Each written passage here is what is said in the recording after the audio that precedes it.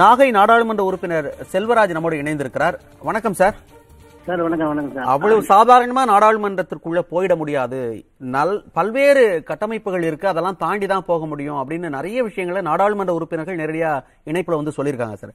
அப்ப இவ்வளவு பாதுகாப்புலாம் இருக்கு அப்படின்னா அதை தாண்டி எப்படி சார் போயிருக்க முடியும்?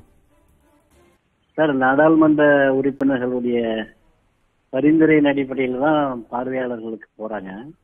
சரிங்க.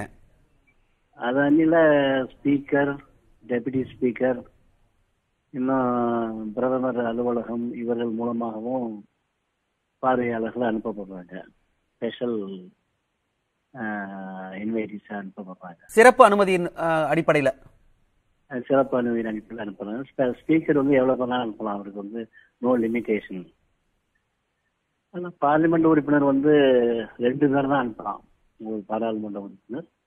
ரெண்டு பேருக்கும் பரிந்துரை பண்ணலாம் என்பதுதான் இப்போது இருக்கக்கூடிய விதிமுறை.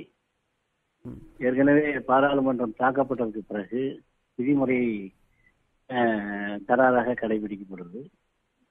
பழைய நாடாளுமன்றம் வந்து அனுமதி பெற்றவர்கள் வெளியே அவர்கள் சோதனையில் ஈடுபட்டு மறுபடியும் வரிசையாக உள்ளே அனுப்பப்படுகிறார்கள்.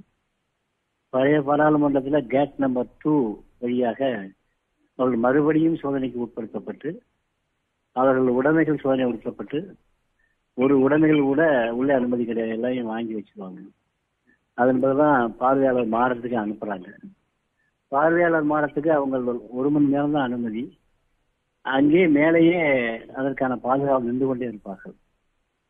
பாதுகாவலர் மாடத்திலேயே அந்த நேரம் முடிந்தவுடன் திரும்ப அவங்க அடைத்து கொண்டு வெளியே வந்து விடுவார். இது வந்து பழைய பாராளுமன்ற வளாகத்தில் நடந்த நடைமுறை. தற்பொழுது இருக்கக்கூடிய பாராளுமன்றம் புதிதாக கட்டப்பட்டிருக்கிறது. இது பாராளுமன்ற உறுப்பினர்களுக்கே எப்படி போறது எப்படி வர்றது என்பது ஒரு தெரியாத கட்டிடமாக இருக்கிறது. இது நிறைய பாதுகாப்பு குறைபாடுகள் இருப்பதற்கு வாய்ப்பு இருக்கிறது.